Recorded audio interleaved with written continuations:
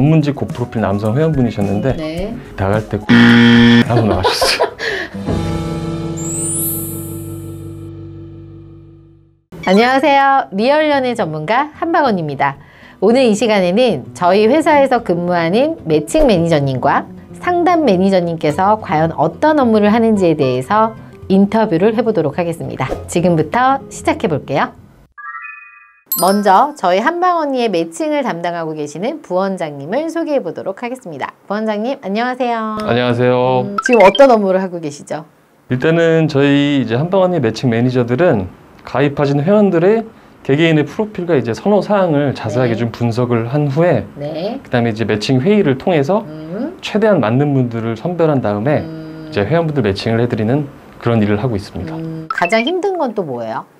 어, 일단 힘든 점은 좀 낮은 프로필의 회원들께서 음. 이제 본인 프로필 수준보다 음, 좀 많이 높은 분을 음, 바라시는 분들이 있어요. 음, 음, 음. 그런 분들은 이제 매칭이 좀 더뎌지고 음. 또더 힘들어지다 보니까 음. 회원분들도 힘들고 매니저들도 이제 다 힘들어지는 거죠. 그러면 회원들의 소개팅 후기 중에 가장 기억에 남는 사례 한 가지만 얘기해 주세요. 후기들은 뭐 여러 가지 기억에 남는 일들이 많이 있는데 네. 전문직 고프로필 남성 회원분이셨는데 네. 나갈 때 코털 정리를 하고 나가셨어요. 그래서 여성분이 대화에 집중을 못하고 음. 코털만 보였다고 아. 하시더라고요. 사례가 하나는 음. 이제 여성분이 너무 기대에 찬 나머지 음. 미스 코리아 대회에 나가는 것처럼 헤어와. 의상을 차려입고 나가셔서 남성분이 너무 부담스럽고 창피해서 카페에서 눈치를 계속 보셨다고 하시더라고요. 그래서 음. 그것도 이제 여성분한테 말씀을 드려서 네. 그 다음부터는 좀 정갈하게 음. 얌전하게 입고 나가도록 제가 좀 코칭을 해드렸습니다. 어, 이거는 좀 잘 얘기하셔야 될 것 같아요. 옆에서 보는 한방 언니는 어떤 사람이에요? 항상 네. 저희가 회의할 때도 그렇고 대표님한테 네. 장군님이라고 불러드리는데 어, 장군님. 네. 음. 그 이유는 음.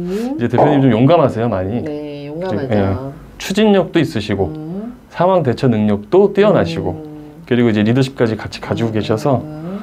저희한테는 큰 도움이 많이 됩니다. 음. 저희가 못하는 부분까지 다 처리를 해주시니까 여자로서의 뭐 매력이 하나도 없네요. 상대는 전혀 모른다는 거죠.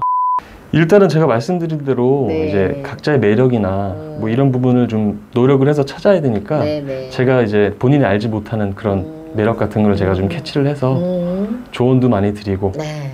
미팅 시에도 실수하는 부분이 없도록 제가 많이 유도를 해서 네네네. 앞으로 많이 도와드리도록 하겠습니다. 지금까지 한방 언니에서 매칭을 총괄하시는 부원장님과 인터뷰를 해봤습니다. 감사합니다. 감사합니다. 자 이번에는 제 오른팔 업무를 담당하고 계시는 저번에 했던 마리 원장님을 모셨습니다. 마리 원장님 안녕하세요. 네, 안녕하세요. 잘 지내셨죠? 네. 지금 저희 회사에서 상담 매니저 일도 하고 계시잖아요. 네, 이 그렇죠. 상담 매니저들은 어떤 일을 해요? 상담 매니저님들이 하시는 일들은요. 네. 그러니까 본인이 원하는 이상형을 찾아주는 일인 건데요. 본인이 원하는 어, 상대를 거기에 맞게 잘 찾아주는 역할을 하는 게 상담 매니저의 역할입니다. 그러면은 상담 업무 하실 때 네. 가장 중요하게 생각하는 거는 어떤 거예요? 현실적인 꿈을 좀 꾸고 음. 오셨으면 좋겠는데 음. 저희가 이렇게 상담을 하다 보면 현실적인 꿈을 꾸지를 않아요. 어, 나보다 훨씬 더 나으신 분만 찾으려고 예, 그렇게 오시거든요. 제가 예를 들어서 암보험을 음.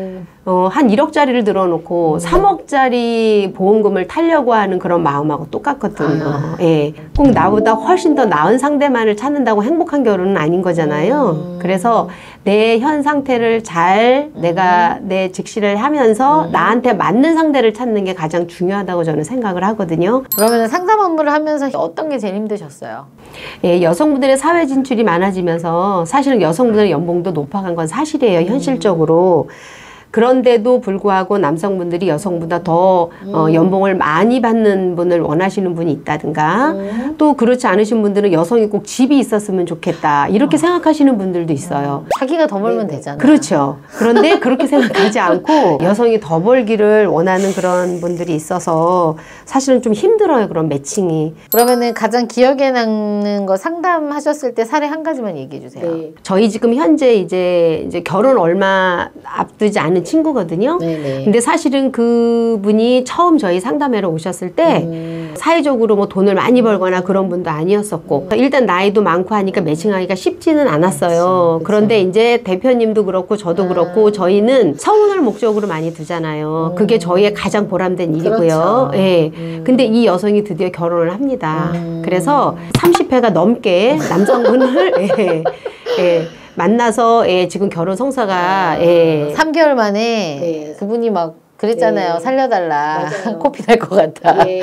그래서 저희가 대표님이 보약도 싸주시고 막 그랬던 저 기억이 나고 아로나민 골드도 사줬어요. 네. 먹고 힘내라. 너 이제 나이 내년이면 마흔 아니냐. 그럼 지금 네. 아니면 어떻게 하냐. 그렇잖아, 네. 맞잖아. 사명감을 가지고 열정적이지 않으면 할 수 없는 일이에요. 네, 진짜로. 맞습니다. 음. 근데 이 결정사 결혼정보회사를 굉장히 문턱이 높다고 생각을 하세요. 맞아요. 일반 분들이. 근데 사실은 그럴 이유가 하나도 없거든요. 우리 일반적으로 회사 다니시고 왜 공무원이시고 뭐 전부 다 다 일반적인 그런 분들이 오세요. 그런데 여기 오시면 내가 뭔가가 크게 더 사회적으로 지위가 높아야 된다고 생각하시는데 절대 한방원이는 그렇지 않습니다. 그렇지 않고요.